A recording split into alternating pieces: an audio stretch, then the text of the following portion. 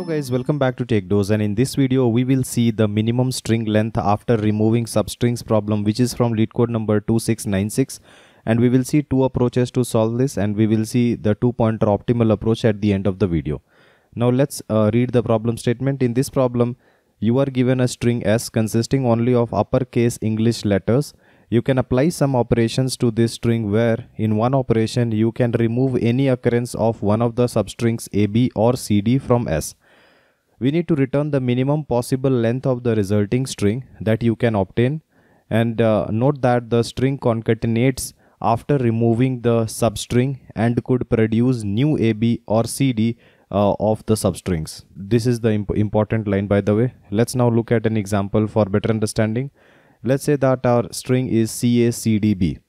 Our goal is to remove all the occurrences of substring AB and substring CD and this has to be done recursively. What do I mean by this? Let's say that in our given string, uh, we have taken CACDB. You can see that this CD is actually matching with the substring to be removed. So when I remove this CD, then our resulting string becomes CAB because A and B gets concatenated. Okay.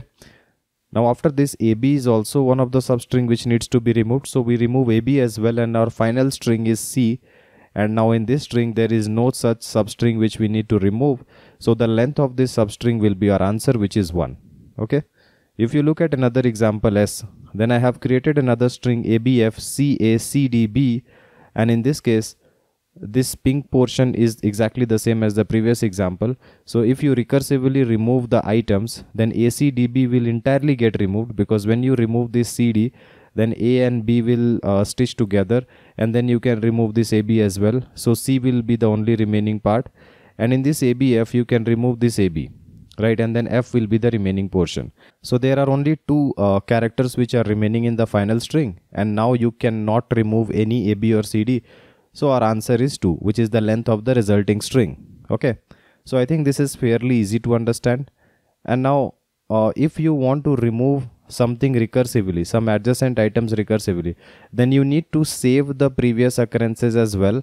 Uh, if you are seeing d and then you need to uh, match it up with the previously recently seen character then you need to maintain it in some order. Let's say you have maintained a you have maintained c and now you are seeing a d. So the previous item to the left which is available is c and so this gets removed and now the next character becomes B and you check the previously available item and you remove it. This kind of use case uh, can be served by stack data structure. So I think this is very intuitive to use. Uh, let's see another example ABFCACDB and try to understand how we can recursively remove AB and CD uh, using stack. If you take a stack, initially it will be empty and let's name it as ST as our stack. Now when I see an item, when the stack is empty i can just push it as it is right? Now when i see an item b then i have to check the top of the stack.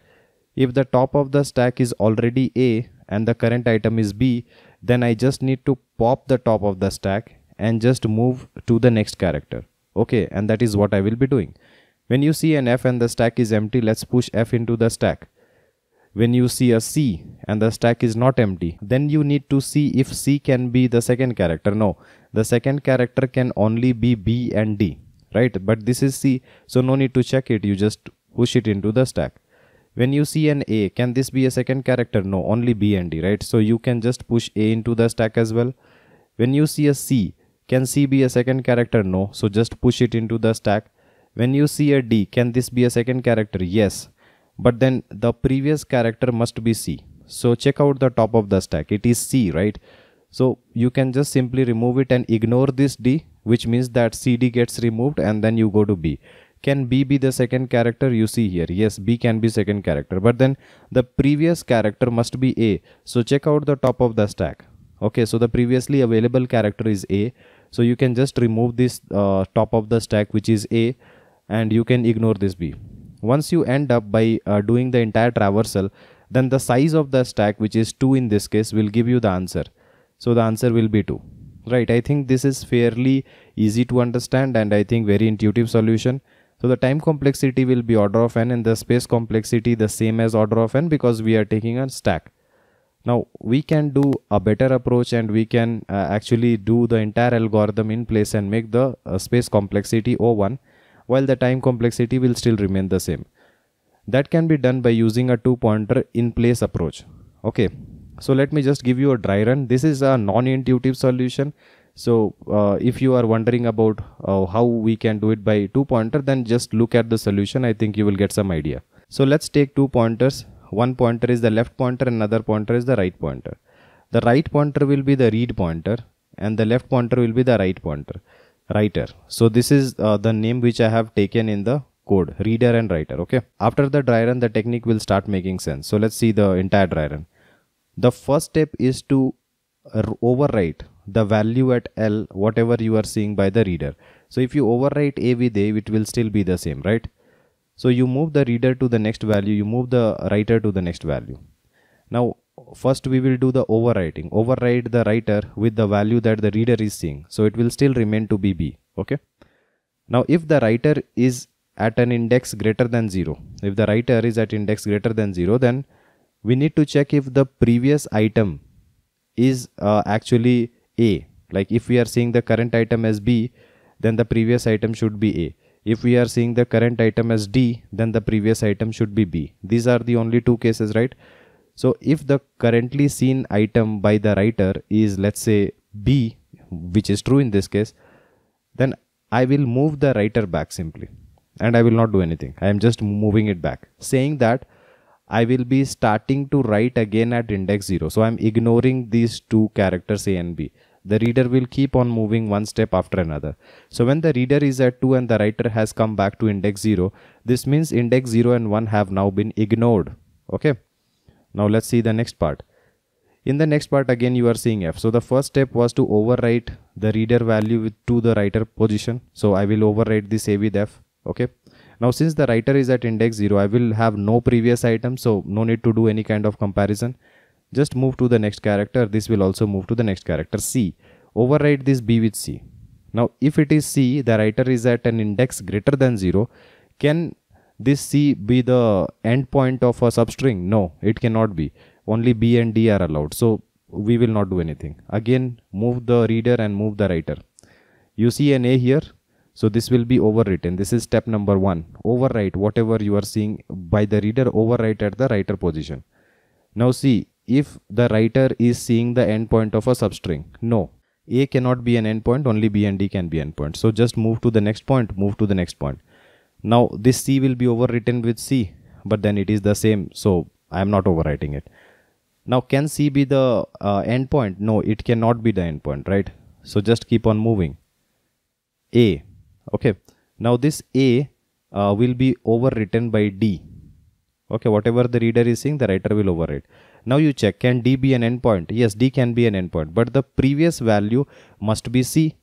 And yes, the previous value is C. So what we will do as a next step is, you just move the writer back. This means that this, this character, the fourth index and third index have now been ignored. Right, because we are ready to write at index 3. That means C will get overwritten and D is ignored. So C and D are both ignored by the way. So when we move to B, then we will overwrite this C with B okay now we have to check if the writer is at index greater than 0 yes so definitely we will have a previous item so can b be an endpoint of a substring? Yes. But then the previous character must be a right? And yes that is also true. So i will move the writer back meaning i am ignoring the third index and i am also ready to write at index 2 okay? And i will move the reader uh, to front and then we will end the entire string.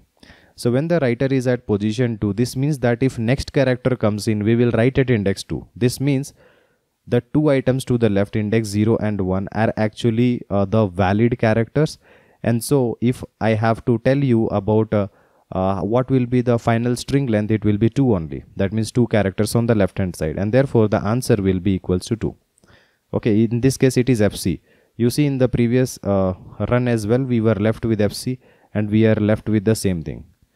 Now you will understand this better if you do it yourself uh, using pen and paper on a notebook. I think it will be uh, it will be more obvious if you practice it. But this is a non-intuitive approach as I said. And since uh, we are doing all these operations on the same input string, therefore the space complexity is o1 while the time complexity will still be same as on right so let's now look at both the codes. If you are someone who is looking to prepare for top product based company within a limited time of just 3 months, then we have brought for you both the DSA and the system design live interview training program the most important feature of this program is you get a filtered and condensed structured curriculum, in-depth discussion of all the topics and my guarantee of your understanding one-on-one guidance with me and live weekend classes. To know more about the training, you can WhatsApp us on this given number. I will be sharing the Python and Java code in the GitHub link, so please look at it in the description section. In the C++ code uh, for the stack, we will take an stack and then uh, this is kind of iterating through all the characters if the stack is not empty that means already there is some character and if the top of the stack is a and the current character has an ASCII value 1 greater than a that means it is b or the top of the stack is c and the current character has one ASCII value greater that means it is d then we will pop it okay and we will not push the current item so that means AB or CD gets removed. Otherwise, if that is not the case, then we will push the item. And at the end, whatever is the stack size, that will be uh, the final answer, right? Now let's look at the two pointer approach. Now in the two pointer approach, I will take a writer and the reader. The reader will always uh, move forward one character after another. Okay, and uh, th this is just the default right as I was saying. The writer will always override the value that the reader is seeing. And once that is done, then we will check if the writer is greater than 0. If that is true, then we will check if the current writer is an endpoint of the substring that is B or D. If that is also true, either one of them, then the previous item if they has one ASCII value lower, right? Uh, if you decrease one ASCII value from B, it will be A. If you decrease one ASCII value from D, it will be C. If that is true as well, then I will decrement the writer, ignoring the entire substring A, B or C, D otherwise if that is false then I will just move after overwriting and move to the next character by the way right next position so the reader will keep on moving forward as I said and at the end the writer index will tell us how many items are to the left of the writer which are actually into the final string and that is our answer right so I will be sharing the Java as well as the Python code at the end so I have commented them all you can go through the github link if you still have any doubt then please comment below and I'll try to help you as soon as possible. Like and share our video and subscribe to our channel in order to watch more of these programming videos. See you guys in the next video. Thank you.